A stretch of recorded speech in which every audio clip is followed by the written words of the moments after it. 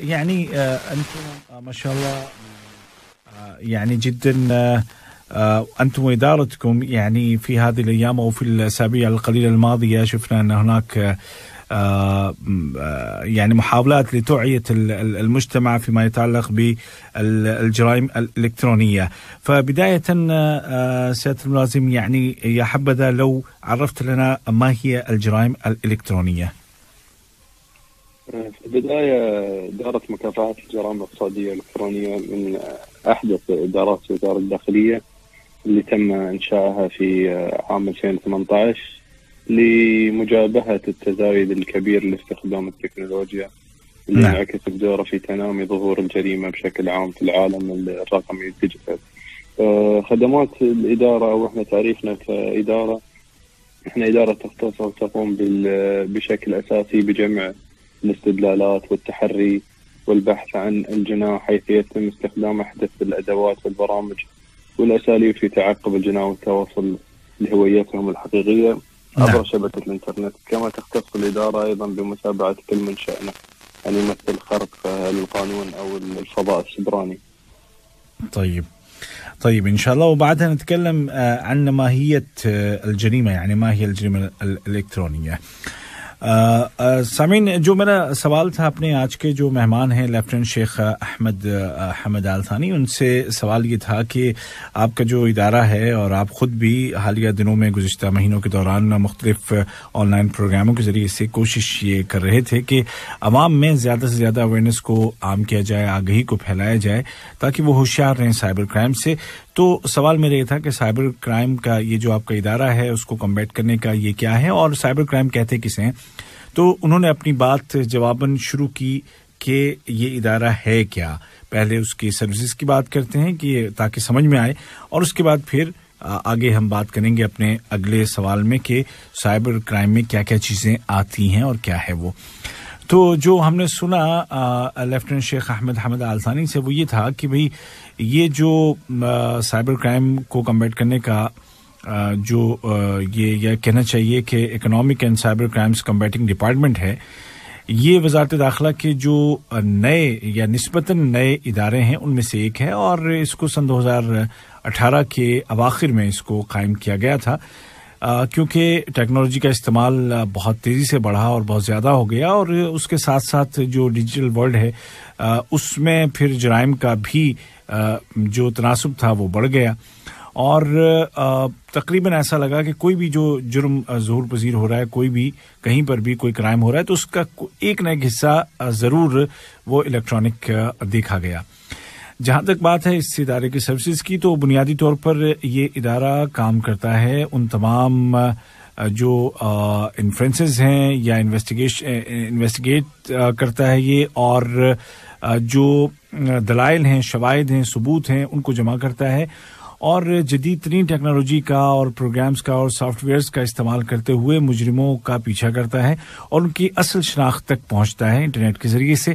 اور ہر ایسی چیز کے جو قانون کے خلاف ہے یا جو سائبر لا کو وائلیٹ کرتی ہے سائبر اسپیس میں، ان تمام چیزوں کو دیکھتی ہے مانیٹر کرتی ہے اور یہ ادارہ ان کا ان کے پیچھے جو لوگ ہوتے ہیں ان کو پکڑنے کے لیے اپنی کوششیں کرتا ہے۔ اب ہم جاننا چاہیں گے کہ سائبر کرائم ہے کیا۔ آ، سعادة الشيخ الحين يعني یعنی ما هي الجريمة الإلكترونية؟ وأنواع الجرائم هي أيضا هو- هو بشكل عام الاعتماد المتزايد على على التكنولوجيا المعلومات. أدى إلى ظهور إمكانات وفرص جديدة للتقنية أو للتنمية في الثقافة والاجتماع والاقتصاد والسياسة. نعم. إلا أن هالأمور ترافقها مع ذلك زيادة المخاطر الإلكترونية نتيجة الاستخدام السيء وغير المسؤول لهذه التقنيات. أدى إلى تزايد المستمر في أعداد المستخدمين. نعم. آه، أيضا البيئة الرقمية تزايدت عدد المستخدمين اللي يصبحون ضحايا للمخاطر. الالكترونيه لذا نرى أن معظم الجرائم التقليدية قد انتقلت إلى البيئة الرقمية من البيئة العادية السابقة. نعم. ونذكر بعض من الأنواع مثلا ممكن تكون على سبيل المثال ال- الاختراق أحد الجرائم الإلكترونية. مهم. الاحتيال طبعا الاحتيال بكافه ومختلف أنواعه. آه، البلاك ميل الابتزاز طبعا. الاستغلال الجنسي نشر الشائعات والكثير من هذه الأنواع اللي تقوم في آه، الساحة الإلكترونية. بإذن الله بعد ترجمة هذا الجواب سيادة الملازم راح نتكلم عن، يعني الدوافع لارتكاب مثل هذه الجرائم. میرا جو سوال تھا کہ یہ تو بتائیے کہ یہ جو سائبر کرائم ہے، یہ ہے کیا؟ کس کو کہتے ہیں؟ تو اس کے جواب میں انہوں نے یہ کہا کہ دیکھیں، جو انفارمیشن ٹیکنالوجی ہے، اس پر ہم اتنا زیادہ اعتماد کرتے ہیں، بھروسہ کرتے ہیں اور اس پہ اتنا زیادہ ہم اب ڈپینڈ ہو گئے ہیں۔ کہ بہت سارے، ہم ایک طرف تو یہ کہتے ہیں کہ کلچرل ہماری جو ہے ترقی ہو رہی ہے ثقافتی طور پر ہم آگے بڑھ رہے ہیں، سوشلی ہم آگے بڑھ رہے ہیں اکنامکلی آگے بڑھ رہے ہیں، پولیٹیکلی آگے بڑھ رہے ہیں قانونی اعتبار سے ہم اس ٹیکنالوجی کا فائدہ اٹھا کے آگے بڑھ رہے ہیں، لیکن اس کے ساتھ ساتھ ان اچھائیوں کے ساتھ ساتھ کیا ہوا کہ جو خطرات تھے وہ بھی زیادہ ہو گئے۔ کیونکہ اسی ٹیکنالوجی کا استعمال غلط کاموں کے لیے بھی ہونے لگا اور منفی اس کا استعمال بھی ہونے لگا۔ اچھا پھر اس کے بعد وقت کے ساتھ ساتھ انٹرنیٹ کے استعمال کرنے والوں کی تعداد میں بھی روز بروز اضافہ ہوتا گیا ہے اور یہ جب استعمال کرنے والوں کی تعداد میں اضافہ ہوا تو اس کے نتیجے میں کیا ہوا کہ اس کے جو وکٹمس بننے والے ہیں یعنی کہ جو کہنا چاہیے کہ الیکٹرانکلی جو خطرات ہو سکتے ہیں، ان کا شکار ہونے والوں کی تعداد میں بھی اضافہ ہو گیا۔ اور اسی لیے انہوں نے یہ کہا کہ ہم دیکھتے ہیں اور ہمارا تجربہ یہ کہتا ہے کہ اکثر جو ٹریڈیشنل قسم کے جو کرائم ہوتے تھے، اب وہ ڈیجیٹلی انجام دیے جا رہے ہیں اور اس کی بعض مثالیں انہوں نے پیش کی کہ کس طرح کے مطلب یہ جرائم ہو سکتے ہیں جن کو ہم سائبر کرائم کہتے ہیں۔ مثال کے طور پر انہوں نے کہا کہ ہیکنگ ہے یا فراڈ ہیں جو کہ ہر طرح کا جو فراڈ ہے یا تھریٹ ہے بلیک میلنگ ہے یا جو بچوں یا خواتین کی سیکشل ایکسپلائٹیشن ہے۔ ان کا مطلب جنسی استحصال ہے، یا اس کے علاوہ جو ریومرس پھیلاتے ہیں، افواہیں پھیلاتے ہیں، تو یہ تمام چیزیں جو ہیں وہ الیکٹرانکلی ہوتی ہیں اور اس کے لیے انٹرنیٹ کا استعمال کیا جاتا ہے اور یہ تمام کی تمام چیزیں سائبر کرائم کے زمرے میں آتی ہیں۔ اب سوال میرا ان سے یہ ہوگا کہ آخر موٹیوز کیا ہو سکتے ہیں؟ اس طرح کے جو سائبر کرائمس ہیں، ان کو لوگ جو انجام دیتے ہیں، آخر اس کی وجہ یا اس کے دوافے اس کے محرکات، اس کے موٹیوز اس کے ریزنز کیا ہو سکتے ہیں؟ یہ ہوگا میرا سوال ہمارے جو مہمان ہیں لیفٹنٹ شیخ احمد احمد آلثانی ان سے سيادة الملازم ما هي دوافع ارتكاب الجريمة الإلكترونية؟ في البداية دوافع عديدة وكثيرة منها يعني أكثر من من دافع لكن خلينا نقسمها لقسمين على أساس من في الشرح والترجمة نعم. في البداية الإساءة للدول مثل ما إحنا عارفين الإساءة ممكن تكون للدول عن طريق يعني تدخلها في السياسة ومثل ما إحنا عارفين مثلا جريمة اللي أدت إلى حصار دولة قطر كان هو في البداية اختراق لوكالة الأنباء مما أدى إلى إساءة للدولة وتعرض وتعرض الدول للمشاكل نعم. أيضا رقم اثنين الإساءة للأشخاص بين الأفراد بين ما بين. الإساءة من ناحية أن أنت الآن تبتعد عن أنك تواجه شخص وجه الوجه ممكن يسبب خطر أو كذا. بكل سهوله في أي مكان حتى لو خارج البلد تقدر تسيء لأي إنسان. فهذه بعد أيضا دافع يسهل عملية الجريمة.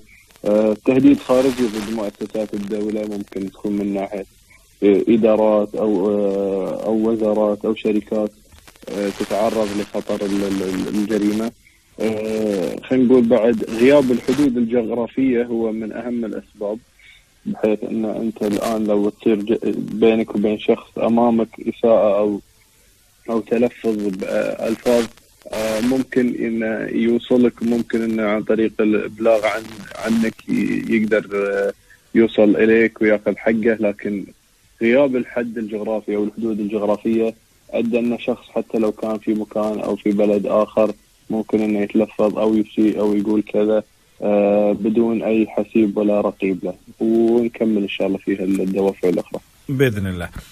تو سوال میرا یہ تھا کہ یہ بتائیے کہ موٹیوز کیا ہو سکتے ہیں؟ جس طرح کے لوگ جو جو کرتے ہیں یہ جو سائبر کرائم کرتے ہیں تو آخر وجہ کیا ہو سکتی ہے؟ تو انہوں نے کہا کہ وجہ تو بہت ساری ہو سکتی ہیں، لیکن ہم ان کو کچھ جو ان میں نمایاں جو چیزیں ہیں، وہ ہم بیان کریں گے اس کو دو حصوں میں۔ پہلا حصہ جو کہ ابھی بیان کیا جا چکا ہے، اور اس کے بعد کا حصہ جو کہ جواب کا اگلا حصہ ہوگا۔ ہمارے جو مہمان ہیں، لیفٹیننٹ شیخ احمد احمد آلثانی، ان کا۔ انہوں نے کہا کہ سب سے پہلے تو یہ ہے کہ سائبر کرائم کا ایک مقصد یہ ہوتا ہے کہ دوسرے ملکوں کی ساکھ کو نقصان پہنچایا جائے۔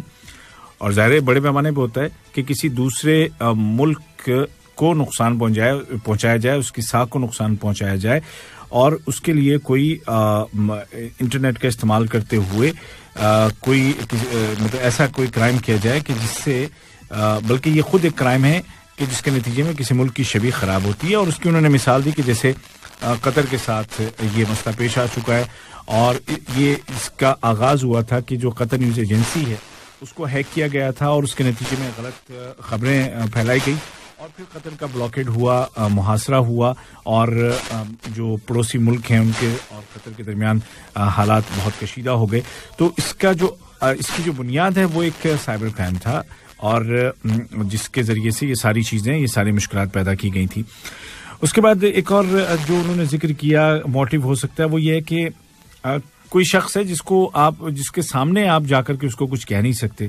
لیکن آپ کے ہاتھ میں موبائل ہے اور آپ اس کا استعمال کرتے ہوئے آپ کہیں پر بھی بیٹھ کر کے اور اس کے بارے میں کچھ بھی آپ کہتے پھریں، کچھ بھی لکھتے پھریں اور کچھ بھی اس کے بارے میں پھیلاتے پھریں، تو یہ ایک ایک یہ ریزن یا موٹو ہو سکتا ہے۔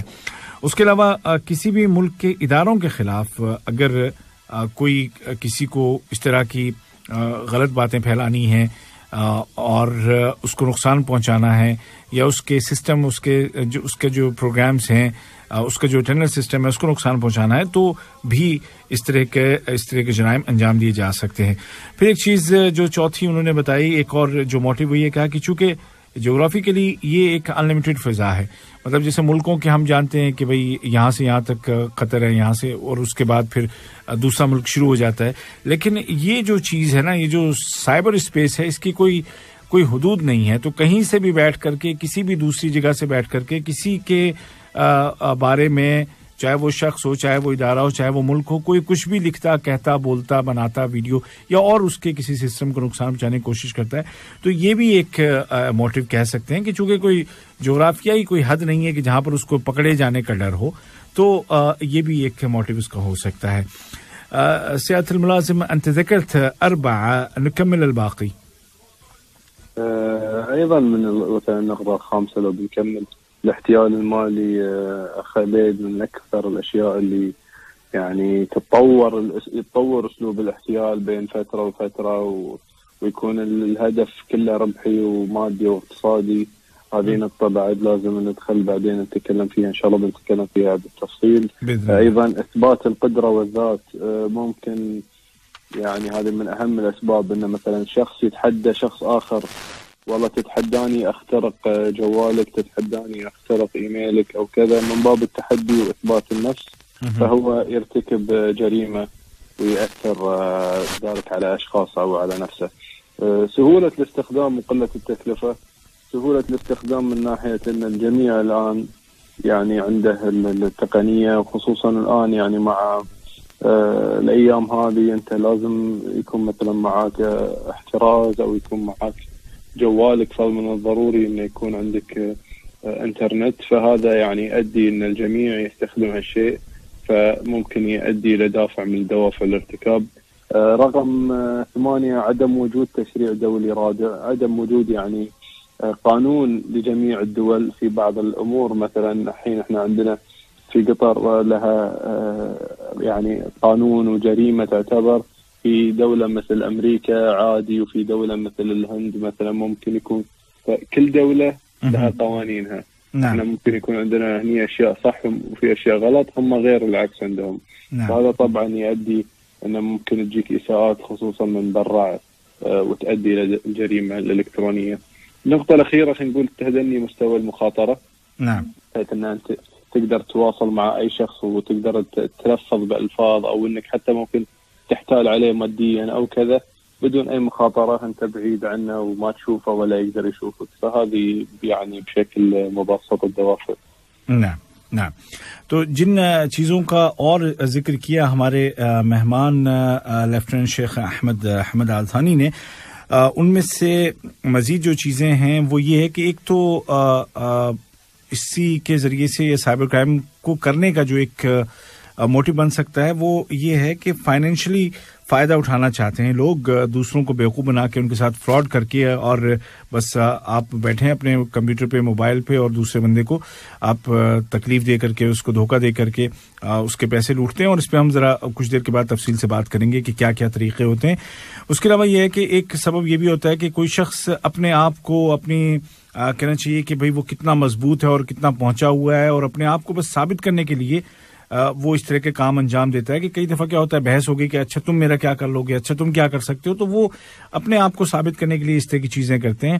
اور ایک چیز، ایک موٹو یہ بھی ہو سکتا ہے کہ آسانی سے انٹرنیٹ ہر کسی کے بس مطلب ہر کسی کی پہنچ میں ہے اور ہر کسی کی دسترس میں کوئی بہت بڑا اس پہ پیسہ نہیں لگتا ہے، کچھ بھی نہیں لگتا۔ تو بس انٹرنیٹ کا چھوٹا موٹا پیک لے لیا اور پھر یہ کام انجام دے دیا۔ تو چونکہ اس میں، کیونکہ کئی دفعہ ہوتا ہے نا، کسی جرم کو کرنے میں جب ذرا پیسے ویسے لگتے ہیں، ذرا پیسے یا اور چیزیں لگتی ہیں لاجسٹک لگتا ہے، تو پھر اس کے لیے کافی انتظام کرنا پڑتا ہے۔ پھر انہوں نے یہ بھی کہا، ایک پوائنٹ جو کہ آٹھواں پوائنٹ تھا، وہ یہ تھا کہ چونکہ کوئی ایسے کوئی مطلب انٹرنیشنل لا ایسا نہیں ہے جو لوگوں کو روک سکے، ان کو پکڑ سکے، اس کو ان کو قرار واقعی سزا دے سکے۔ کسی ملک میں کچھ ہے، کسی ملک میں کچھ ہے۔ اور اسی سے پھر اگلے پوائنٹ کو ریلیٹ کر سکتے ہیں کہ چونکہ اس میں خطرہ ذرا کم ہو جاتا ہے، رسک ذرا کم ہو جاتا ہے، کیونکہ کوئی اس طرح کا ایک جگہ کا ایک مطلب ایک کوئی ایسا قانون نہیں ہے جو تمام ملکوں میں ایک جیسا ہو۔ تو لوگ اس کا فائدہ اٹھاتے ہیں اور وہ اس طرح کے جو گھنونے کام ہیں، وہ انجام دیتے ہیں اور دوسروں کو نقصان پہنچاتے ہیں۔ تو یہ تمام وہ اسباب یا وہ تمام وہ ریزنس موٹیوز ہو سکتے ہیں کہ جن کی بنیاد پر کوئی اس طرح کا، اس طرح کا کام انجام دے سکتا ہے۔ نہ تو وقف خلیل سیات الملازم بے اللہ۔ اومیکرون کا نام تو آپ نے سنا ہوگا۔ یہ کورونا وائرس کی ایک نئی قسم ہے جو نہایت تیزی کے ساتھ پھیلتی ہے۔ لیکن اچھی بات یہ ہے کہ فائزر اور موڈرنا دونوں ویکسین اس کے خلاف کارگر ہیں۔ البتہ دوسرے ڈوز کو چھ ماہ گزر جانے کے بعد انسان کی امیونٹی وائرس کے خلاف کمزور پڑنے لگتی ہے۔ لہٰذا ضروری ہے کہ ہم جلد از جلد تیسرا ڈوز لگوائیں اور خود کو اور اپنے آس پاس کے لوگوں کو محفوظ بنائیں۔ بوسٹر ڈوز لگوائیں، زندگی کو محفوظ بنائیں۔ ایف ایم ون سیون قانون ہمیں تحفظ دیتا ہے اور وزارت داخلہ کے تمام ادارے ہر وقت ہماری زندگی کو آسان بنانے کے لیے مصروف ہیں۔ ایم او آئی کے اداروں کی سروسز جاننے اور نئے قوانین سے واقفیت کے لیے ہم ہر ہفتے پیر کے دن رات آٹھ بجے لے کر آتے ہیں پروگرام پولیس اور عوام، جہاں آپ کی ملاقات ہوتی ہے پولیس افسران کے ساتھ۔ سنیے عبید طاہر کے سوالات اور پولیس افسروں کے جوابات۔ پولیس اور عوام every Monday at P M live with R J Ubaid Tahir only on F M one O seven دل سے دیسی.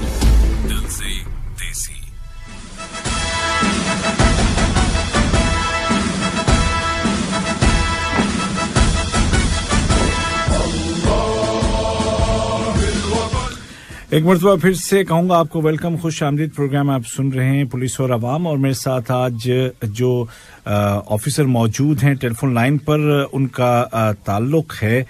Economic and cyber crimes combating department سے اور آپ ہیں lieutenant Ahmed Ahmed Ahmed Hassan Al Thani اور ان سے ہم بات کر رہے ہیں سائبر کرائم کے بارے میں اور اسی سلسلے کو آگے بڑھائیں گے اور یہ جاننا چاہیں گے کہ کس طرح سے ان تمام جو جرائم ہیں ان کو روکا جا سکتا ہے اور کس طرح سے ہم یہی کہ اس سے پہلے ہم تھوڑا سا یہ بھی جاننا چاہیں گے کہ کچھ اگر آن لائن اگر چیزیں جو کہ عام طور پہ لوگ کر بیٹھتے ہیں، تو کیا وہ یہاں پر جرم سمجھا جائے گا قطر میں؟ اس پہ ہم ذرا سا ہم بات کرنا چاہیں گے۔ عودة إليكم سيادة الملازم الشيخ أحمد أحمد آل ثاني لو تكلمنا عن قطر فقط والجرائم الإلكترونية فما هل تذكر لنا بعض الجرائم اللي ممكن إذا إذا قام أحد من المستخدمين إذا قام بأحد بإحدى هذه الأشياء فيعتبر جريمة إلكترونية؟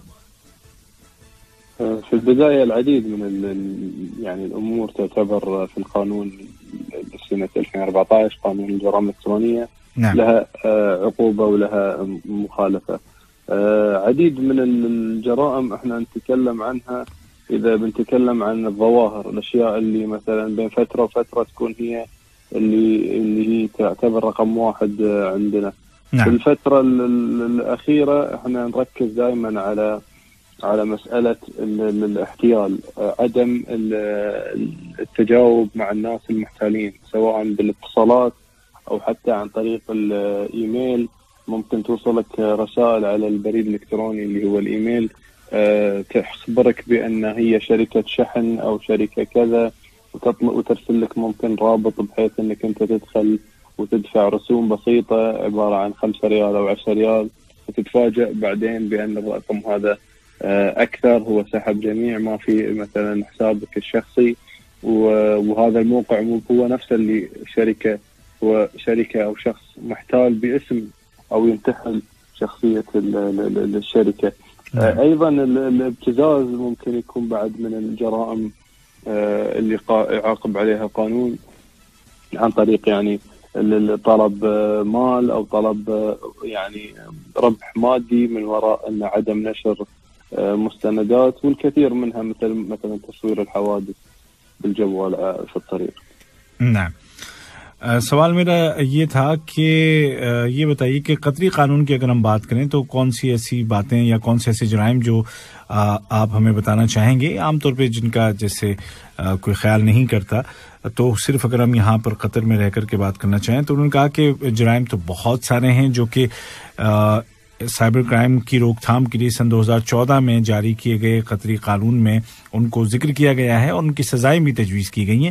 لیکن ہم دیکھتے ہیں کہ جو جس وقت کا جو ماحول ہوتا ہے، اس ماحول میں کچھ چیزیں ہوتی ہیں جو نسبتاً زیادہ ہوتی ہیں۔ مطلب آج جیسے ان مہینوں میں کوئی چیز بہت زیادہ پھیل رہی ہے، اس کے بعد وہ کم ہو گئی، دوسری چیز اس کی جگہ آ گئی۔ تو اس اس اعتبار سے انہوں نے کہا کہ جو عام طور پہ جو دیکھا جا رہا ہے وہ یہ ہے کہ جو آن لائن دھوکہ دڑی ہے اس کے بڑے کیسز آ رہے ہیں اور لوگ بہت اس سے کہنا چاہیے کہ جس کو ہم فراڈ کہتے ہیں کہ اس سے لوگ تنگ بھی ہیں اور لوگ اس کے جھانسے میں آ بھی رہے ہیں۔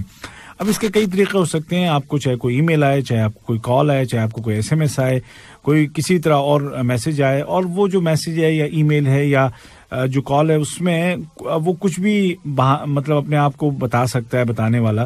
ہو سکتا ہے وہ کہے کہ میں فلاں کمپنی، کسی کارگو کمپنی سے ہوں اور آپ کے لیے کچھ، آپ کا کچھ سامان آیا ہے اور یہ لنک آپ کو بھیجا گیا ہے۔ جس کو کہ آپ کلک کر کے آپ جو چارجز ہیں، دس ریال، پندرہ ریال، بیس ریال، بہت ہلکی سی ایک اماؤنٹ رکھتے ہیں یہ لوگ تاکہ آدمی دھوکے میں آ جائے کہ یار چلو دس ریال کا کیا ہے، جانے دو۔ اگر کچھ، اگر کوئی گفٹ آ گیا تو دس ریال سے تو زیادہ ہی ہوگا، ہے نا؟ اور فائدہ ہو جائے گا اور اگر نہ بھی آیا تو دس ریال کا کیا ہے؟ کوئی بات نہیں، جانے دو، ہے نا؟ لیکن وہ ہوتا یہ ہے کہ وہ جو اب بھیجا گیا ہوتا ہے لنک، وہ آپ کے اکاؤنٹ کو ہیک کر لیتا ہے۔ کیونکہ آپ جب پے کریں گے تو ظاہر ہے اس کے لیے کچھ نہ کچھ تو اپنا کارڈ نمبر کچھ تو استعمال کریں گے نا، تو وہ بس گیا، پھر آپ کا اکاؤنٹ خالی ہو گیا۔ اسی طریقے سے بلیک میلنگ کا ایک ایسا جرم ہے کہ جو کہ استعمال کیا جا، جو کہ کیا جاتا ہے اور اس کا مقصد یہ ہوتا ہے کہ مطلب پیسے یا کسی اور طریقے سے جس کو بندہ بلیک میل کر رہا ہے اس سے فائدہ اٹھائے۔ اب اس میں ہو سکتا ہے کہ وہ کچھ ڈاکومنٹس اس کے ہاتھ لگ گئے ہوں، چاہے وہ فوٹو ہوں، چاہے ویڈیو ہو چاہے اور کوئی ڈاکومنٹ ہو کہ اگر مجھے اتنے پیسے نہ دیے تو میں یہ ان کو میں ان کو پوسٹ کر دوں گا۔ وغیرہ وغیرہ۔ تو یہ یا تم نے ایسا کام نہیں کیا، تو میں کر دوں گا، یا تم نے یہ کام کیا، تو میں ایسا کر دوں گا۔ تو یہ تمام چیزیں آتی ہیں سائبر کرائم کے ذمہ اسی طریقے سے انہوں نے یہ کہا کہ اگر کہیں پر کوئی ٹریفک ایکسیڈنٹ ہو جاتا ہے اور اس کو کوئی اس کے اس کے کوئی ویڈیو وغیرہ بناتا ہے، تو وہ بھی اسی ضمن میں آتا ہے۔ الحين سياده الملازم ناخذها يعني یعنی واحده واحده ونتكلم عن الابتزاز اولا يعني الابتزاز الإلكتروني وعقوبته حسب القانون القطري. الابتزاز يعني حسب القانون الرقم أربعة لعام 2017 من قانون العقوبات الدولة أضاف تجريم التصوير غير المصرح به يعني والابتزاز يعني أو سحب المعلومات من الأشخاص الآخرين ويقعون ضحية. آه، هو طبعا جريمة يعاقب عليها القانون آه، وتحديدا المادة رقم ستة اللي تنص على أنه يعاقب بالحبس مدة لا تجاوز آه، ثلاث سنوات وبالغرامة التي لا تزيد عن آه، مئة ألف ريال أو بها أو بهاتين العقوبتين آه، يعني بالحبس نعم. والمبلغ ال- ال- الغرامة المالية. أو كل من استخدم الشبكة المعلوماتية في أو إحدى الوسائل في تهديد أو ابتزاز شخص لجعله يعمل شيء آه، آه، يعني هو غير راغب فيه أو إنه يخليه يمتنع عن شيء هو يعني بغير إرادته فهذه العقوبة للابتزاز الإلكتروني. آه أوكي تمام. تمام وبسلك آه، بعدها إن شاء الله يعني كيف يمكن للجمهور طلب المساعدة في حال التعرض للابتزاز. آه، جو سوال میرا یہ تھا وہ یہ تھا کہ اگر کوئی کسی کو بلیک میل کرتا ہے ابھی ہم نے بلیک میل کی بات کی ہے تو اس کی سزا کیا ہے قانون کی نظر میں تو اس کے جواب میں انہوں نے یہ ہمیں بتایا، ہمارے جو مہمان ہیں، لیفٹیننٹ شیخ احمد حمد آل ثانی، انہوں نے یہ بتایا کہ جو قطر کا، قطر میں جو قانون ہے سائبر کرائمز کی روک تھام کے لیے، جو کہ سن دو ہزار چودہ کا قانون نمبر چودہ ہے، اس کی جو شق نمبر چھ ہے، اس میں واضح طور پر کہا گیا ہے کہ ایسا کرنے والے شخص کو تین سال تک قید کی سزا ہو سکتی ہے اور ایک لاکھ ریال تک کا جرمانہ ہو سکتا ہے، یا ان دونوں میں سے کوئی ایک سزا دی جا سکتی ہے۔ یہ ہر اس شخص کے لیے یہ سزا ہے کہ جو بھی اس سے انٹرنیٹ کو یا کسی اور انفارمیشن جو ٹیکنالوجی کے کسی اور ڈیوائس کو، کسی اور وسیلے کو استعمال کرتے ہوئے کسی کو دھمکی دیتا ہے، کسی کو بلیک میل کرتا ہے اور کسی کو اس کی مرضی کے خلاف کوئی کام کرنے کا کرنے پر مجبور کرتا ہے یا نہ کرنے پر مجبور کرتا ہے تو ایسے ہر شخص کے لیے یہ سزا قانون میں تجویز کی گئی ہے۔ اور میرا ان سے اب سوال یہ ہوگا کہ اگر ایسا کسی کے ساتھ ہو رہا ہے تو کوئی کیا کرے کہاں جائے کیسے مدد لے؟ آه، سعادة الشيخ أحمد حمد آل ثاني يعني یعنی فرضا آه، إذا حد تعرض لمثل هذا الابتزاز الإلكتروني فوين يروح شلون يطلب المساعدة منكم ينصح عند وقوع أي شخص ضحية للابتزاز لا قدر الله بعدم التجاوب مع الجاني آه، بتاتا ولا يستجيب للطلبات أو الأمور اللي هو يحاول أنه يسحبها منه. آه، وحجبه من جميع قنوات التواصل آه، في برامج التواصل الاجتماعي عن طريق عمل الحظر ال- البلوك. نعم. آه، كما يجب إبلاغ الإدارة إدارة مكافحة الجرائم الاقتصادية والإلكترونية مباشرة آه، تباشر في البحث والتحري نعم۔ الو۔ سعد سعاده الشيخ انت معنا؟ الو۔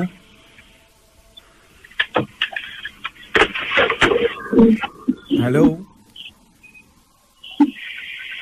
لگتا ہے کہ کچھ لائن میں ڈسٹربینس ہو گئی اور ہم کوشش کریں گے کہ ان سے دوبارہ رابطہ ہو سکے۔ or hello ألو الجريمه انت معنا سعد الشيخ؟ اي نعم. آه، والله اختفى الصوت يعني قبل شوي. ف... آه، اعتذر عن ذلك. آه، اذا سمعت الجواب ولا اعيد أنا تكلمت فيه. أنا سمعت آه تقريبا يعني نقول آه 70 هو- هو, هو 80% بس بشكل عام اخ عبيد الإبلاغ إدارة المكافحة للجرائم الاقتصادية والالكترونيه نعم. مباشرة ما يتعرض للشخص أو إنه يحاول إنه يتواصل معه أو إنه يباشر في طلباته ويبلغ عندنا عن طريق البريد الإلكتروني عن طريق خدمة مطرش اثنين اللي هو الابلكيشن نعم. آه، عندنا إحنا آه، في الابلكيشن بلاغات اقتصادية وإلكترونية. يقدر أي شخص من خلالها يبعث لنا آه، سكرين شوت أو يصور الشاشة ويذكر تفاصيل الواقعة أو الجريمة اللي صارت والإدارة تباشر في في القدوم آه، لل- للجريمة وأيضا أكيد طبعا عن طريق الحضور الشخصي عندنا في الإدارة وتقديم الشكوى. وبسريه صحيح؟ طبعا بسرية إحنا جميع آه، يعني آه، تعاملاتنا مع ال- الأشخاص أو الحالات هذه تكون بسرية تامة ونحفظ فيها حقوق الناس في حفظ خصوصياتهم. حلو سوال میرا یہی تھا کہ اگر کوئی کسی کو بلیک میل کر رہا ہے اور وہ مطلب کیسے آپ کی مدد لے، قانون کی مدد کیسے لے، کیا کرے وہ تو اس کے جواب میں ہمارے جو مہمان تھے، مہمان ہیں، لیفٹیننٹ شیخ احمد حمد آلسانی، انہوں نے یہ کہا کہ دیکھیں، سب سے پہلی بات تو یہ کہ اگر خدا نخواستہ کوئی بلیک میلنگ کا شکار ہو رہا ہے، تو سب سے پہلی بات تو یہ ہے کہ آپ سامنے والے کے ساتھ، مجرم کے ساتھ بالکل بھی مطلب کوئی تعاون نہیں کریں۔ اس کی کوئی بات آپ نہیں مانیں۔ آپ اس کو فوراً جتنے بھی آپ کے جس جس چینل سے وہ آپ کے ساتھ کنیکٹڈ تھا یعنی کہ جیسے سوشل نیٹورکنگ سائٹس ہوتی ہیں، تو ان ہر جگہ سے آپ اس کو بلاک کریں، اس کا راستہ روکیں۔ چاہے وہ واٹس ایپ ہو، چاہے فیس بک ہو، چاہے ٹویٹر ہو، چاہے اور کوئی جیسے بھی آپ کا اس سے رابطہ تھا، وہاں سے اس کو آپ بند کریں، اس کو بلاک کریں اور اس کے فوراً بعد آپ سائبر کرائم کمبیٹنگ ڈپارٹمنٹ جو جس کے یہ آفیسر ہیں، اس سے آپ فوراً رابطہ کریں تاکہ فوری طور پر اس کی تحقیق، تحقیقات شروع کی جا سکیں۔ جتنی جلدی آپ بتائیں گے، اتنی جلدی اس مجرم تک پہنچا جا سکے گا۔ اور رپورٹ کیسے کریں، بتائیں کیسے اس کے لیے، چاہے ان کو آپ ای میل کر دیں، چاہے ٹیلی فون کے ذریعے سے کال کریں، چاہے متراش ٹو پر آپ جا کر کے ان میں آپ ان کا کھانا دیکھیں گے، جو ان کا جو آئیکن ہوگا جہاں پہ ان کے ادارے کا، اس میں آپ جائیں اور اس کے ذریعے سے رابطہ کریں۔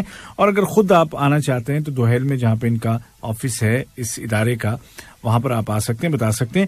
اور یہ بات انہوں نے کہی، دہرائی کہ کسی بھی شخص کی آئیڈینٹی ظاہر نہیں کی جائے گی اور ان کی جو پرائیویسی ہے اس کو برقرار رکھا جائے گا۔ ان کے بارے میں کسی اور کو بالکل بھی معلوم نہیں ہوگا۔ لہٰذا یہ چیز ذہن سے نکال دیجیے کہ اگر ہم گئے تو دنیا کو پتہ چل جائے گا کہ بھائی کیا ہوا ان کے ساتھ۔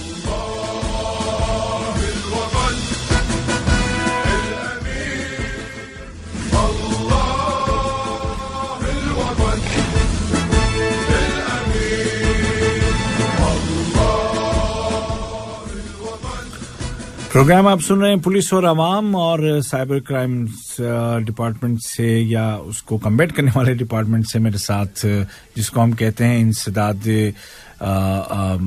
کیا کہتے ہیں کہ سائبر کرائم۔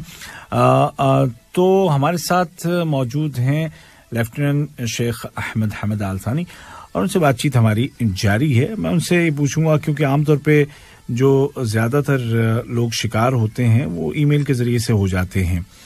ای میل کو اگر کوئی چرا لیتا ہے اور اس کو ہیک کر لیتا ہے، تو پھر وہ چونکہ جتنے بھی آپ کے سوشل نیٹورکنگ سائٹس پہ آپ کے اکاؤنٹ ہوتے ہیں، تو وہ بیسیکلی ای میل پہ ہی ہوتے ہیں۔ تو اس کو کیسے بچایا جا سکتا ہے؟ یہ میرا ان سے سوال ہوگا کہ ہمارے جب ای میل کسی کے کنٹرول میں نہیں آئے گا، تو امید یہی ہے کہ ہم بچے رہیں گے۔ سيادة الملازم الشيخ أحمد حمد آل ثاني ضابط في إدارة مكافحة الجرائم الاقتصادية والإلكترونية بوزارة الداخلية القطرية. يعني ندري أن كل حساب في السوشيال ميديا يبي له البريد الإلكتروني.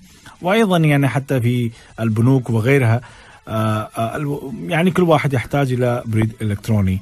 وأيضا القرصنة يتم عن طريق سرقة أو قرصنة البريد الإلكتروني فسؤالي هو كيفية أو ما هي كيفية حماية البريد الإلكتروني من السرقة أو القرصنة؟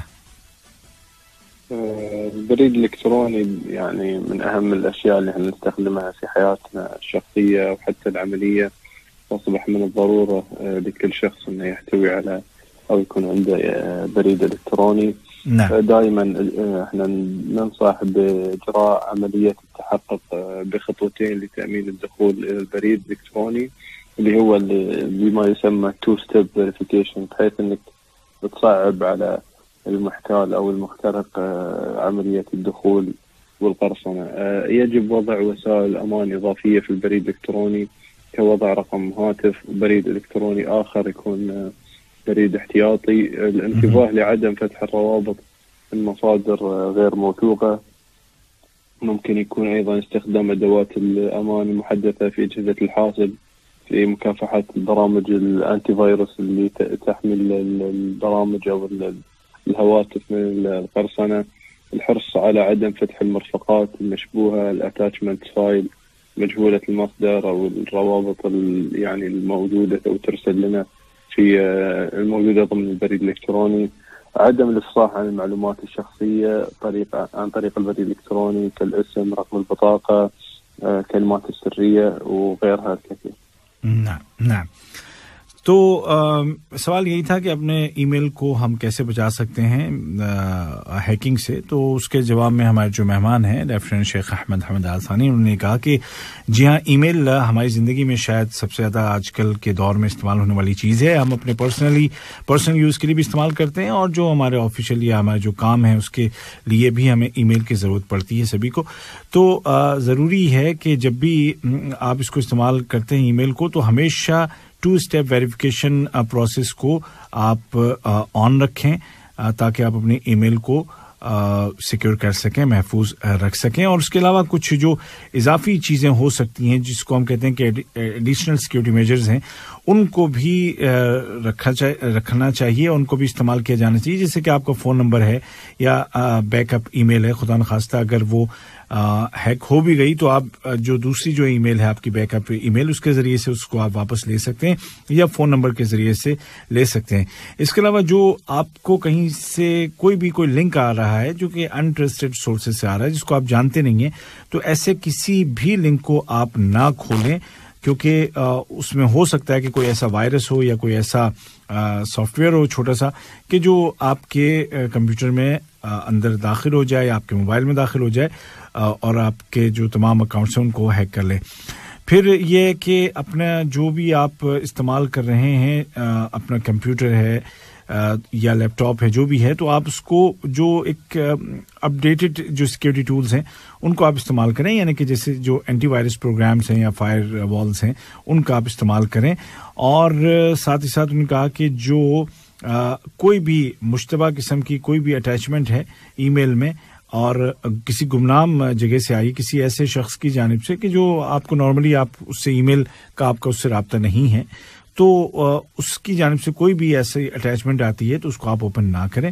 اور پھر ساتھ ہی ساتھ یہ کہ آپ کی جو پرسنل آپ کی جو ڈیٹیلس ہیں نا پرسنل انفارمیشنس ہیں، وہ کسی کو بھی ای میل کے ذریعے سے نہیں بتائیں۔ بالکل بھی، جیسے کہ آپ کا نام ہے کریڈٹ کارڈ نمبر ہے ڈیٹ آف برتھ ہے ایڈریس ہے، وغیرہ وغیرہ، یہ تمام وہ چیزیں ہیں کہ جن کو بالکل بھی نہیں بتایا جانا چاہیے اور اگر آپ بتائیں گے تو پھر اس کا نقصان بھی آپ کو ہو سکتا ہے۔ نتوقف قليلا سيادة الملازم ونرجع إليك إن شاء الله بعد ثواني بسؤال كيفية حماية البطاقة الائتمانية من السرقة والقرصنة شكرا أنت معنا وصابر معنا وإن شاء الله نرجع لك بعد شوي۔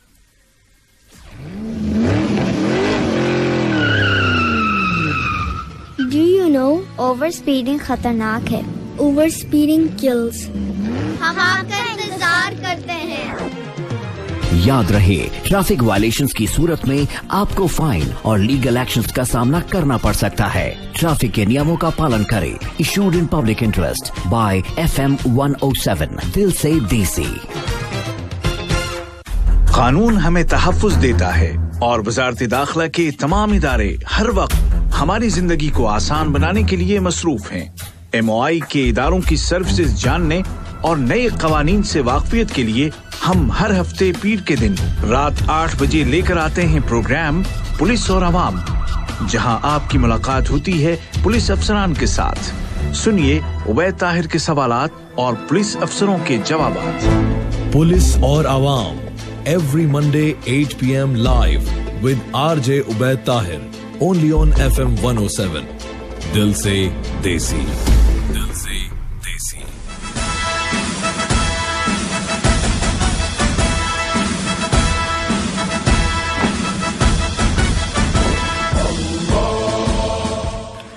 ایک بار پھر سے خوش آمدید، پروگرام آپ سن رہے ہیں پولیس اور عوام۔ میرا نام ہے عبید طاہر اور میرے ساتھ ٹیلی فون لائن پر موجود ہیں لیفٹیننٹ شیخ احمد حمد آلثانی جو کہ اکنامک اور سائبر کرائمس کمبٹنگ ڈپارٹمنٹ سے ہیں۔ اور ہم بات کر رہے ہیں ان امور کے بارے میں جو کہ روز مرہ ہمیں پیش آتے ہیں۔ اور اب یہ سوال میرا ان سے ہوگا کہ جو آپ کا جو کریڈٹ کارڈ ہے اس کو چوری چوری سے یا پائریسی سے کیسے بچا سکتے ہیں اس کو؟ کیونکہ یہ بھی ایک بڑا مسئلہ ہے کہ جو کارڈز ہیں وہ اگر کسی کے ہاتھ لگ جائیں یا ان کی جو ان کے جو کوڈنگ ان کے جو نمبر وغیرہ ہیں وہ ان کے ہاتھ لگ جائیں تو بڑا مسئلہ ہو جاتا ہے۔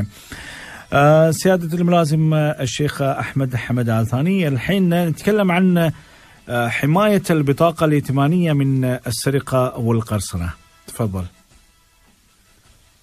في البداية يعني يجب التأكد من استخدام آه، مواقع آمنة ونظامية لدى استخدام البطاقة والشراء سواء عن ال- يعني عن طريق الأونلاين المشتريات اللي هي عن طريق الإنترنت آه، ما تتأكد أن ال- يعني المواقع هذه موثوقة ومن أماكن معروفة وغير مشبوهة آه، نعم. أو تكون وهمية آه، وفي حال تعرض الشخص يعني قرصنة آه، حسابه يجب مباشرة تبليغ البنك في حالة الاكتشاف العملية أو النصب والسرقة من ثم فتح بلاغ لدى إدارتنا إدارة مكافحة الجرائم الاقتصادية والإلكترونية. وأبرز النصائح آه، في كيفية تأمين البطاقة من نعم السرقة والقرصنة هو عدم يعني يجب عدم الإفصاح عن المعلومات الشخصية عن طريق البريد الإلكتروني مثل ما ذكرنا. نعم. الإسم ورقم البطاقة الائتمانية عدم الإفصاح عن الرقم السري للبطاقة الائتمانية لأي شخص كان مهما بلغ مستوى أهميته أو نعم. ثقتنا فيه نحاول نتجنب ال- ال- ال- الرقم السري. أيضا يجب دائما محاولة حفظ الرقم السري للبطاقة. وتجنب أنك تكتبه في مكان فيكون الشخص هو حافظه وعارفه. نعم. بنفسه. آه، إذا تم الدفع في مطعم أو أي مكان يجب أن تطلب آه، من الشخص أنه هو يحضر لك ال- ال- ال- الماكينة أو الجهاز اللي هو بيشتري منه بغ- بغض النظر أنك مثلا حلو. تعرف المطعم وتعرف الشخص وتثق فيه وتخليه هو اللي يدفع فإحنا دائما ننصح بأن أنت تع- يعني مراقبة آه، نفسك مراقبة أموالك آه، دائما بنفسك. نعم نعم. سوال میرا یہی تھا کہ کریڈٹ کارڈ کو کیسے سیکیور بنایا جائے، تو اس کے اس اس کا، اس کے جواب کا آغاز ہمارے جو مہمان ہیں، lieutenant Sheikh Ahmad Hamad Al Thani telephone line پر انہوں نے یہ کہا کہ سب سے پہلے تو آپ اس بات کو یقینی بنائیں کہ جب آپ کریڈٹ کارڈ کا استعمال کرتے ہیں آن لائن کہیں کسی بھی ٹرانزیکشن کے لیے، تو آپ سب سے پہلے اس چیز کو یقینی بنائیں کہ جس ویب سائٹ سے آپ لے رہے ہیں یہ سامان یا اس کے ساتھ کوئی معاملہ کر رہے ہیں ٹریڈ کر رہے ہیں، تو یہ کوئی ایسا نہیں ہے کہ ہوا میں ہے، بلکہ یہ واقعتاً بھروسے کے قابل ہے اور ٹرسٹڈ ہے اور آپ اس پہ آپ یقین کر سکتے ہیں۔ ایسا نہ ہو کہ آپ کسی فیک یا ان نون سائٹ سے کچھ خرید رہے ہوں۔ اس چیز کو تو آپ سب سے پہلے آپ یقینی بنائیے اور اگر خدا نخواستہ ایسا ہوا کہ آپ اس طرح کی کسی ویب سائٹ کا شکار ہو گئے اور ایسی یقین کریں لاکھوں ہیں، تو اگر آپ ان میں سے کسی کا آپ شکار ہو گئے کہ آپ کے ساتھ کوئی دھوکہ ہو گیا ہے، تو فوراً ہی آپ بینک کو اطلاع دیں۔ اور ساتھ ہی ساتھ سائبر کرائم کا یہ جو ڈپارٹمنٹ جس سے کہ شیخ احمد کا تعلق ہے، یہاں پر آپ ضرور اس کی رپورٹ کریں تاکہ آگے کی کاروائی ہو سکے۔ البتہ، یہ بات کہ اپنے کریڈٹ کارڈ کو ہم کیسے اس کو زیادہ سے زیادہ سیکیور کر سکتے ہیں پروٹیکٹ کر سکتے ہیں، تو ایک تو یہ کہ کبھی بھی ای میل کے ذریعے سے اپنا نام اور اپنا جو کریڈٹ کارڈ نمبر وغیرہ، یہ جو تفصیلات ہیں، یہ آپ کبھی بھی کسی کو مت دیجیے جو آپ کی پرسنل انفارمیشن ہے۔ کسی کو مت دیجیے دوسرے یہ کہ آپ کے جو کریڈٹ کارڈ کا جو آ, جو ایک سیکرٹ کوڈ ہوتا ہے یا جس کو ہم پاس کوڈ کہتے ہیں وہ کسی بھی شخص کو کبھی بھی نہ بتائیے اس کو اپنے تک ہی محدود رکھیے۔ تیسری بات یہ ہے کہ آپ آ, ہمیشہ یہ جو پاس کوڈ ہے یہ کہیں لکھ کے مت رکھیے بلکہ اس کو یاد رکھیے ہمیشہ۔ اس کو یاد رکھیے۔ لکھ کے رکھیں گے تو کسی اور کے ہاتھ لگ سکتا ہے۔ بہت سارے لوگ بےچارے سیدھے سادھے وہ جس والٹ میں رکھتے ہیں کارڈ ساتھ میں اس کا جو پاس کوڈ ہے وہ بھی لکھ کر کے رکھ لیتے ہیں نا؟ پاسورڈ جو ہوتا ہے۔ تو یہ ایسا نہ کیجیے، بلکہ اس کو اپنے ذہن میں محفوظ رکھیے۔ اور آخری بات انہوں نے اس حوالے سے یہ کہی کہ اگر آپ کسی ریسٹورینٹ میں ہیں یا کسی اور کسی جگہ پر ہیں جہاں سے آپ نے کچھ لیا ہے یا کچھ کھایا ہے اور وہاں پر آپ کارڈ کے ذریعے سے پیسے دے رہے ہیں، تو بجائے اس کے کہ آپ اپنا کارڈ دے دیں وہاں پہ ویٹر کو یا وہاں کے سیلز مین کو چاہے کتنا ہی بھروسہ ہو آپ کا اس کے اوپر، چاہے آپ روز وہاں پہ آتے ہوں، لیکن آپ اس کو کارڈ مت دیجیے کہ آپ نے کارڈ دے دیا، ساتھ میں پاسورڈ بتا دیا اور وہ پیسے جا کر کے دے کر کے آ گیا بل بھی لا کے دے دیا۔ انہوں نے کہا کہ نہیں، یہ غلط ہے۔ یا تو آپ خود اٹھ کر کے جائیں اور اگر وہاں پہ یہ سہولت موجود ہے کہ وہ مشین آپ کے پاس لے کے آ سکتا ہے اور آج کل تو ہر جگہ ہے، تو وہ مشین آپ منگوائیں۔ ٹھیک ہے، اور خود اپنے بغیر اس کے کہ وہ دیکھ سکے کہ آپ کا پاسورڈ کیا ہے وہ آپ اس کو خود استعمال کریں، اور یہ کاروائی یعنی جو پیسے کی لین دین یا کارڈ کے استعمال کیے پوری کی پوری خود ہی کریں، اور کسی اور کو یہ موقع ہرگز نہ دیں کہ وہ آپ کی جو ذاتی، یہ جو بہت ہی پرسنل انفارمیشن ہے یہ کسی اور کے پاس چلی جائے ایک اور بات آج ہم کرتے ہیں اپنے مہمان کے ساتھ، اور یہ ہے کہ آج کل جیسے بوسٹر ڈوز کا مسئلہ ہے، اور پچھلے دنوں سیکنڈ ڈوز کا مسئلہ تھا۔ تو بہت ساری کالز اور بہت ساری، بہت سارے میسیجز اس طرح کے آ سکتے ہیں کہ بھائی آپ جو ہیں وہ، آپ کو میں وزارت داخلہ سے کال کر رہا ہوں، وزارت صحت سے کال کر رہا ہوں، آپ کو کسی اور جگہ سے بینک سے کال کر رہا ہوں، آپ کو سی آئی ڈی سے کال کر رہا ہوں۔ اور اگر آپ نے اتنی دیر میں یہ ایک آپ کو پاسورڈ آئے گا، ہمیں نہیں بتایا، تو آپ کا اکاؤنٹ بند ہو جائے گا، آپ کا موبائل لاک ہو جائے گا، آپ کا کمپیوٹر لاک ہو جائے گا، آپ کو جیل میں ڈال دیں گے، پتہ نہیں کیا کیا۔ اور مختلف زبانوں میں بات کرتے ہیں۔ تو یہ سوال میرا ان سے یہ ہوگا کہ کیا واقعات وزارت داخلہ والے، وزارت داخلہ کا کوئی بھی ادارہ کیا اس طرح کا کال اس طرح کی کال کرتا ہے، کر سکتا ہے؟ کیا مطلب یہ واقع سی آئی ڈی والے ایسا کرتے ہیں؟ اور اگر نہیں کرتے تو کیا کریں اگر کرتے ہیں تو کیا کریں کیسے پتہ لگے کہ کون اصلی ہے اور کون نقلی ہے هناك سؤال مهم سعادة الشيخ أحمد حمد آل ثاني ضابط في إدارة مكافحة الجرائم الاقتصادية والإلكترونية بوزارة الداخلية القطرية في الآونة الأخيرة يعني شاهدنا هناك مكالمات عبر تطبيقات مختلفة أو حتى مكالمات مباشرة وبعض الأحيان تظهر الأرقام يعني من خطوط أرضية. وهذه المكالمات يعني الشخص اللي موجود فيه يدعي أنه من وزاره الداخلية من شو اسمها من البحث الجنائي أو من أي إدارة ثانية ويقول لك انه إذا خلال دقيقتين خمس دقائق عشر دقائق بيجيك باس باس كود إذا ما أعطيتنا خلاص نغلق الهاتف أو الكمبيوتر أو تكون أنت في السجن أو الأشياء هذه فهل فعلا وزارة الداخلية تتصل مع أشخاص يعني تتصل بهم وتهددهم بمثل هذه الوقائع يا سياده الملازم؟ بالطبع لا بخصوص سؤالك عن هل الوزارة تقوم أو إداراتها تقوم بالاتصال بهذا الأسلوب أكيد لا وإحنا نحذر جميع المستمعين بعدم التعاطي مع هذه الاتصالات. اللي ذكرته صحيح هو موجود ك ك يعني حالات من هالنوع اللي هم يسمونهم سبوفينج اللي هو اتصال عن طريق الإنترنت. هو من خلاله يعني ممكن يدعي إنه يحط أي رقم من أرقام اللي هو يحتاجها عن طريق الإنترنت. ويرن عندك الجوال برقم أرضي أو رقم حتى ممكن يكون رقم ثلاث تسعات على سبيل المثال فهو يختار نعم. يعني الرقم الظاهر اللي خلال الاتصال وهم يدعون يعني مثل ما ذكرنا في بداية الحلقة أن الاحتيال الإلكتروني هو دائما متطور ودائما بين فترة وأخرى يعني يكون له تطورات من ناحية اللي هو السوشيال انجينيرنج اللي هي الهندسة الاجتماعية من خلال معرفة وضع الناس أو وضع البلد والناس اللي عايشين فيها وإيش احتياجاتهم في الوضع والوقت الراهن. من خلال مثلا ذكرنا سابقا بادعائهم مثلا إنهم مثلا من مراكز صحية أو من وزارة الصحة. وفي حال إن أنت تحتاج مثلا أخذ الفاكسين اللي هو اللقاح فأنت تدفع مبلغ معين وهم يدعون بأنهم هم الجهة المسؤولة.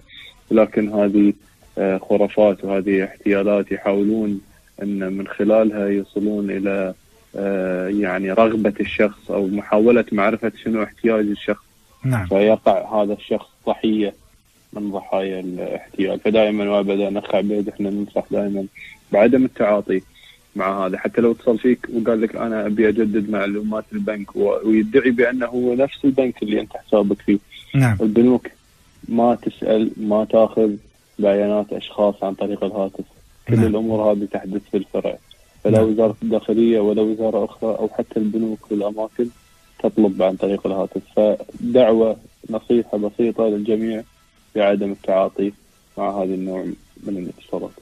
نعم آ, سوال یہی تھا کہ آ, بہت ساری کالز آتی ہیں میسیجز آتے ہیں اور آ, اس کے کیا کیا جائے کیا واقعتا وزارت داخلہ یا بینک یا وزارت صحت کیا اس طرح کی کالز کرتی ہیں تو اس کے جواب میں ہمارے جو مہمان ہیں، lieutenant Sheikh Ahmad Ahmad Al Thani telephone line پر انہوں نے کہا کہ نہیں، ہرگز نہیں، اس انداز میں ہماری جانب سے یا کسی بھی سرکاری ادارے کی جانب سے یا دیگر جو ملک میں ادارے موجود ہیں، ان کی جانب سے ہرگز اس طرح کی کال نہیں ہوتی ہے۔ اور انہوں نے یہ کہا کہ جتنے بھی سننے والے ہیں، میں ان کو خبردار بھی کرنا چاہتا ہوں اور بتانا بھی چاہتا ہوں کہ اس طرح کے لوگوں پہ ان کے ساتھ بالکل کوئی ڈیل نہ کریں، کوئی معلومات ان کو نہ دیں اور ان کی، ان کے جھانسے میں بالکل بھی نہ آئیں۔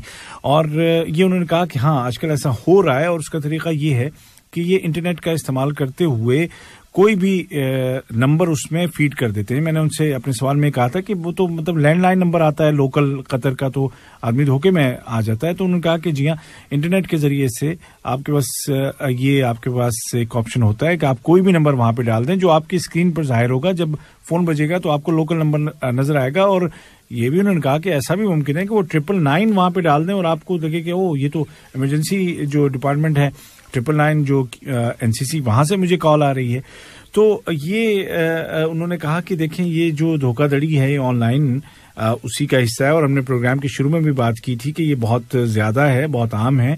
اور اس میں دن بدن اس میں ظاہر ترقی ہو رہی ہے۔ جو مجرمانہ ذہن ہے وہ بھی سوچتے ہیں کہ کیسے لوگوں کو بیوقوف بنایا جائے۔ اور اس کو انہوں نے کہا کہ اس کو کہتے ہیں سوشل انجینئرنگ کہ کس ملک میں اس خاص وقت میں کون سی ایسی چیز ہے کہ جس کی جانب لوگ لپک کے آئیں گے؟ کون سی ایسی وہاں پر مطلب وہاں کا جو کہنا چاہیے نا کہ جو ایک برننگ ٹاپک کیا ہے، کس چیز کو لوگ بہت زیادہ اہمیت دیں گے اور بنا سوچے سمجھے وہ ہمارے پیچھے آ جائیں گے؟ تو اب جیسے آج کل ویکسین کا یا بوسٹر ڈوز کا مسئلہ ہے، تو ممکن ہے کہ اس طرح کی کالز آئیں آپ کو کہ ہاں، جو وہ پبلک ہیلتھ منسٹری سے بات کر رہے ہیں اور ویکسین کے لیے آپ کا نام منتخب کیا گیا ہے اور آپ اتنے پیسے بھیج دیں اور یہ لنک ہے اس پہ بھیج دیں اور اتنے منٹ کے اندر اندر بھیجیں تاکہ کیونکہ لوگ بہت ہیں جو بوسٹر ڈوز لینا چاہتے ہیں، تو اگر آپ نے لیٹ کیا تو پھر یہ دوسرے دوسرے کسی کو نمبر مل جائے گا، وغیرہ وغیرہ۔ یہ سب جھوٹ ہے اس طرح کی کسی باتوں میں مت آئیے گا۔ انہوں نے کہا کہ بینکس جو ہیں وہ بھی آپ کو ٹیلی فون پر اس طرح کی معلومات نہیں لیں گے کہ بھئی آپ کی جو ڈیٹیلز ہیں اس کو اپڈیٹ کرنا ہے، لہٰذا یہ بتائیے، وہ بتائیے۔ نہ ہی وزارت داخلہ کی جانب سے اس طرح کی کوئی کال آئے گی، اس کے کسی ادارے کی جانب سے نہیں آئے گی۔ یہ سب کے سب وہ لوگ ہیں کہ جو آپ کو لوٹنے کے لیے دن رات لگے رہتے ہیں۔ تو اس طرح کی کوئی بھی کال آئے تو اس کا ہرگز اس کی باتوں کا یقین نہ کریں اور اس کی باتوں پہ عمل نہ کریں۔ جاتے جاتے میں ان سے پوچھوں گا کہ ان کالز کا پھر ہم کریں کیا۔ اخیرا سیادت الملازم الشيخ احمد احمد الثاني في مثل هذه الحاله يعني یعنی، في المكالمات اللي تكلمنا عنها ماذا على على متلقي المكالمة أن يقوم به؟ في البداية عدم التعاطي مع مع الحالة في حالة أنه هو اتصل وبين لك أنه هو جهة من معينة أو من مكان معين فعدم تصديق الحالة هذه والإغلاق الخط فورا. وإذا أمكن أنه يحضر الشخص بحيث أنه لو عاود الاتصال مرة ثانية يكون هذا شيء قطع الطريق عنه. وفي حالة وقوع الأشخاص في احتيال أو ضحية من ضحايا هذه الاتصالات أو الاحتيال الإلكتروني بشكل عام. إحنا دائما ننصح بالاتصال على الإدارة أو القدوم فورا إلى الإدارة وتقديم بلاغ بخصوص الموضوع وأيضا التجاوب والسرعة الإبلاغ اللي البنك نفسه اللي انسحبت منه الفلوس وإبلاغه عن العملية بحيث أن الفلوس يعني يقدر يتداركها وما تكون خارج البلد فكل ما أسرع الشخص اللي هو ضحية ضحية الاحتيال بالإبلاغ لوزارة الداخلية وإبلاغ البنك فكان هذا إن شاء الله أسرع له في استرجاع ما فقده أو ما تسبب له من ضرر مادي ومعنوي. بإذن الله. و يعني آخر شيء اللي نذكرها نذكرها وسائل التواصل اللي هو خط الساخن. والهاتف العام والايميل يعني بعد ما ترجم هذا. تو جناب، سوال یہی تھا کہ کیا کیا جائے؟ تو انہوں نے یہ کہا کہ بھیا، ان کے بالکل بھی نہیں سننا ہے اور ان کا جو جو نمبر ہے، اس کو آپ فوراً رپورٹ کریں اور اگر خدا نہ خواستہ کوئی شخص ان کے جھانسے میں آ ہی گیا ہے اور اس کے کچھ پیسے جو ہیں وہ بینک سے نکل گئے ہیں، اس کے اکاؤنٹ سے نکل گئے ہیں، تو فوراً ہی وہ اس کی رپورٹ کرے، اپنے بینک کو بھی بتائے اور ساتھ ہی ساتھ وہ یہاں یہ جو ڈپارٹمنٹ ہے ان کا، ان کو بھی اطلاع دے، جو اکنامک اینڈ سائبر کرائم سے کمبیٹنگ ڈپارٹمنٹ ہے، ان کو بھی اطلاع دے ٹیلی فون کرے، خود چل کر کے آئے متراشو کے ذریعے سے اطلاع دے، لیکن جتنی جلدی آپ اطلاع دیں گے، اتنی جلدی اس مجرم تک پہنچا جا سکے گا سعادة الشيخ ممكن نذكر الارقام؟ خط الساخن احنا عندنا على مدار الساعة هو رقم اللي هو ستة ستة ثمانية واحد خمسة سبعة خمسة سبعة. نعم. ستة ستة ثمانية واحد خمسة سبعة خمسة سبعة. هذا على مدار الساعة وأيضا عن طريق حساباتنا في تواصل في مواقع التواصل الاجتماعي. وعندنا أيضا الإيميل اللي هو سي سي سي سي at moi.gov.qa فإحنا نستقبل الأشخاص عن طريق هذه المنصات وأيضا عن طريق مثل ما ذكرنا في البداية خدمة مطراش اثنين أو القدوم إلى إدارتنا ونرحب دائما بالجميع. شكرا جزيلا لكم سيادة الملازم الشيخ أحمد حمد آل ثاني ضابط في إدارة مكافحة الجرائم الاقتصادية والإلكترونية بوزارة الداخلية القطرية. شكرا جزيلا لكم على هذه الفرصة الطيبة والمعلومات القيمة اللي أنتم وفدونا إياها شكرا لكم. العفو شاكر لك حبيت شكرا. يا يا مرحبا بكم. إن شاء الله نشوفكم عما قريب. شكرا لكم. مع السلامة. تو جناب ہمارے جو مہمان شیخ لیفٹیننٹ شیخ احمد حمد الثانی جاتے جاتے انہوں نے بتایا کہ اگر کسی کے ساتھ کوئی مسئلہ اس طرح کا پیش آ جاتا ہے تو twenty four seven hot line ہے، ہاٹ لائن نمبر ہے double six eight one five seven five seven, double six eight one five seven five seven, یا آپ متراج کے ذریعے سے یا خود آ کر کے رپورٹ کر سکتے ہیں یا ای میل کیجیے سی سی سی چار مرتبہ سی لکھنا ہے double C double C at M I dot G O V dot Q A اور ویسے جو ان کا آفس کا نمبر ہے two three four seven triple four تو اطلاع فوراً دیجیے بینک کو بھی اطلاع دیجیے ان کو بھی اطلاع دیجیے تاکہ آپ کا نقصان نہ ہو، نقصان سے آپ بچ سکیں. اور یہ یاد رکھیے کہ اس طرح سے آن لائن کبھی بھی اپنی جو پرسنل انفارمیشن ہے، کسی کو بھی مت دیجیے نہ ای میل کے ذریعے سے، نہ ہی کسی میسج کے ذریعے سے تاکہ آپ سب محفوظ رہیں۔ اسی کے ساتھ پروگرام پولیس اور عوام کے آج کے حلقے سے اپنے میزبان طاہر اور حداد کو اجازت دیجیے اس پیغام کے ساتھ کہ قانون کی عزت کیجیے قانون آپ کی عزت کرے گا۔ اللہ حافظ۔